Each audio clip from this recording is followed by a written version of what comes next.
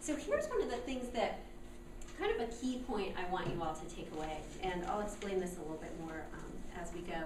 But to find fulfillment first, here's what I find when we're working with clients, okay? Is that if we start with them on what's going to be rewarding and fulfilling for them first, as opposed to, and I know it may sound kind of crazy, what are your talents and skills? What are you good at? They figure out their direction much faster, more effectively, and for the long term. Okay? So what I find is we start with them, and on the next slide is actually our career model. Um, is that if we start with this fulfillment piece, it impacts everything else on the model.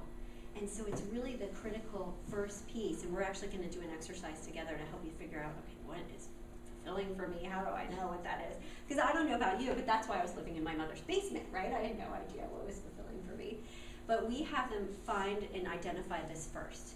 And once you do that, everybody, it will give you the roadmap for not just what you want your career to be about for the rest of your life, but also your?